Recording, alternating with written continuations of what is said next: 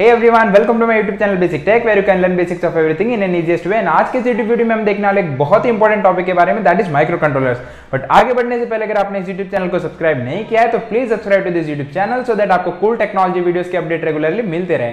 तो चलिए अब स्टार्ट करते हैं समझते हैं कि माइक्रो कंट्रोलर्स एक्चुअली होते क्या है। तो आपके आसपास के जितने भी स्मार्ट डिवाइसेस है, जैसे आपका smart television refrigerator washing machine microwave oven इन सब में एक कॉमन चीज़ होती है that is micro controller and ये माइक्रो कंट्रोलर ही वो चीज़ है जो इन्हें इतना स्मार्ट बनाती है।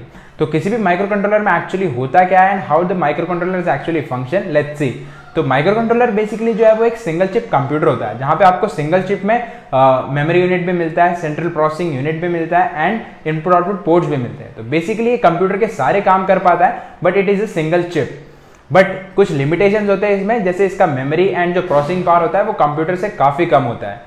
तो ये जो है, वो उन्हीं टास्क में यूज़ होता है जहाँ पे ज़्यादा मेमोरी एंड प्रोसेसिंग पावर की रिक्वायरमेंट ना हो। तो जैसे आपके वॉशिंग मशीन में आपके लैपटॉप या कंप्यूटर जितने प्रोसेसिंग पावर एंड मेमोरी की नीड नहीं होती तो एक्जैक्टली exactly वैसे ही टेलीविज़न रेफ्रिजरेटर वॉशिंग मशीन इन डिवाइसेस में यूज़ होता है जहाँ पे एक डेडिकेटेड टास्क कंप्लीट करना हो। तो किसी भी माइक्रो कंट्रोलर यूनिट में जो है वो चार इंपॉर्टेंट ब्लॉक होते हैं। And they are central processing unit और CPU system clock memory unit and input output ports तो आप अगर इन चारों इंपॉर्टेंट ब्लॉक को ह्यूमन बॉडी के कुछ वाइटल ऑर्गन से अगर रिलेट करते हो तो आपको इनका कॉन्सेप्ट काफ़ी इजीली समझ आ जाएगा। तो चलिए सबसे पहले हम बात करते हैं सेंट्रल प्रोसेसिंग यूनिट की या सीपीयू की। तो सेंट्रल प्रोसेसिंग यूनिट को आप रिलेट कर सकते हो ह्यूमन ब्रेन से। तो ह्यूमन ब्रेन जैसे सारे लॉजिकल एनालिसिस या फिर सारे डिसाइसिव फ़ंक्शन करता है किसी भी ह्यूमन बॉडी में, जैसे किसी भी ऑर्गन को किस टाइप से रिएक्ट करना है कोई भी पर्टिकुलर सिचुएशन में तो वो ब्रेन डिसाइड करता है। तो एग्जैक्टली exactly वैसे ही सेंट्रल प्रोसेसिंग यूनिट भी माइक्रो कंट्रोलर में सारे logical analysis and mathematical computation वाले टास्क कंप्लीट करता है। तो अब आपको समझ आ गया होगा कि जो सेंट्रल प्रोसेसिंग यूनिट है, वो एज अ ब्रेन एक्ट करता है। तो अब हम बात करते हैं सिस्टम क्लॉक की। तो सिस्टम क्लॉक आप रिलेट कर सकते हो ह्यूमन हार्ट से। तो ह्यूमन हार्ट जैसे सारे बॉडी में ब्लड सर्कुलेट करके सारे ऑर्गन्स को सिंक्रोनाइजेशन में रखता है तो एग्जैक्टली exactly वैसे ही सिस्टम क्लॉक भी किसी माइक्रो कंट्रोलर के जो सारे इंटरनल ब्लॉक्स होते हैं उनको सिंक्रोनाइजेशन में रखता है। एंड सिस्टम क्लॉक ही डिसाइड करता है कि आपका माइक्रो कंट्रोलर जो है वो आ, कोई भी पर्टिकुलर टास्क कितने टाइम में कंप्लीट करेगा एंड उसका पावर कंजम्पशन क्या होगा।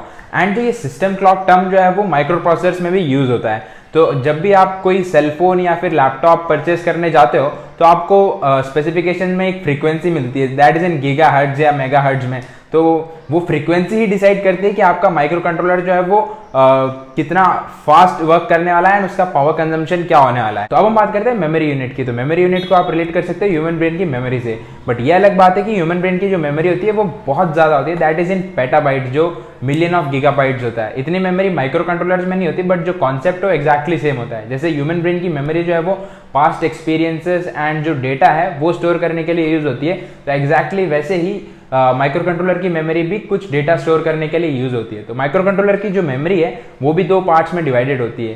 And those are RAM and ROM जो रैम होता है, वो टेम्परेरी डेटा स्टोर करने के लिए यूज़ होता है। एंड उसका जो डेटा है, वो पावर ऑफ़ होते ही इरेज हो जाता है। एंड जो रॉम होता है, या फिर प्रोग्राम मेमोरी जिसे कहा जाता है तो उसमें जो डेटा स्टोर होता है, वो हमेशा के लिए स्टोर रहेगा whether the power is on और ऑफ़ तो अब हम बात करते हैं फाइनल ब्लॉक की that is input output ports input output ports को आप रिलेट कर सकते हो ह्यूमन बॉडी के सेंसरी ऑर्गन से. तो ह्यूमन बॉडी के जो सेंसरी ऑर्गन है वही ह्यूमन बॉडी को अलाउ करते हैं to communicate with an external world जैसे कि अगर आपको कुछ देखना है तो आप अपने आईज के हेल्प से देख सकते हो. अगर आपको कुछ स्मेल करना है तो आप अपने नोज़ के हेल्प से स्मेल कर सकते हो.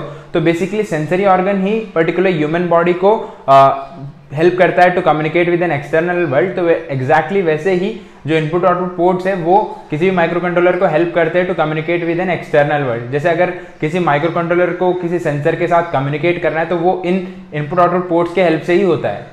तो यही चार इंपॉर्टेंट ब्लॉक्स होते हैं किसी भी माइक्रो कंट्रोलर यूनिट में। तो आपके जो स्मार्ट डिवाइसेस में माइक्रो कंट्रोलर प्रेजेंट होता है तो वो माइक्रो कंट्रोलर आपके स्मार्ट डिवाइसेस में इंटीग्रेट होने से पहले कुछ प्रोसेस के थ्रू जाता है, जिसे प्रोग्रामिंग कहा जाता है।